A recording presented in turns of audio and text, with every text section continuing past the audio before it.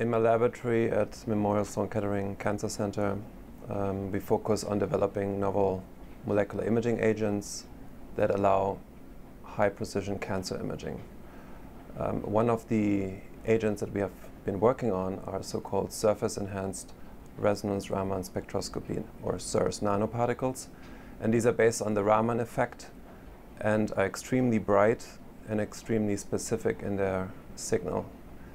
And we have developed them in the last five years um, so that they have increased brightness and biocompatibility. We have used them before in many different cancer models, such as brain cancers, uh, pancreas cancers, prostate cancers, breast cancers, and so forth, via IV injection. Our SERS nanoparticles are made of a gold core that's shaped like a star. And this core is surrounded by a thin glass shell. The glass shell protects and stabilizes the core. And also we can use the glass shell to attach on it antibodies so that we can target specific molecules in the body. Now, when we uh, illuminate these nanoparticles with a laser, they produce a very strong and very specific spectral signature. And we can use this, it, it's kind of like a barcode. We can use this to identify and locate these uh, nanoparticles in the body. In our recent work published in ACS Nano, we use two types of these nanoparticles, two different flavors. To do this, instead of injecting the nanoparticles directly in the blood, we just use a wash of the peritoneal cavity to uh, visualize microscopic ovarian cancer. Ovarian cancer is the deadliest among all gynecologic malignancies, accounting for 12,000 deaths per year in the United States alone. The major reason is that there is no real early detection method and most patients present when the cancer has spread from the ovaries into the entire peritoneal cavity. The major prognostic factor for those patients is a complete resection of all tumor lesions. Ovarian cancer has a very interesting characteristic as it spreads and recurs only within the peritoneal cavity, which is very different from other cancers that spread over the blood to distant organs.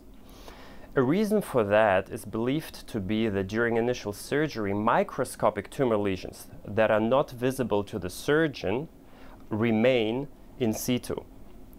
We used our SERS nanoparticles to develop an optical intraoperative imaging technique that can delineate these microscopic lesions and in the future might enable surgeons to detect them.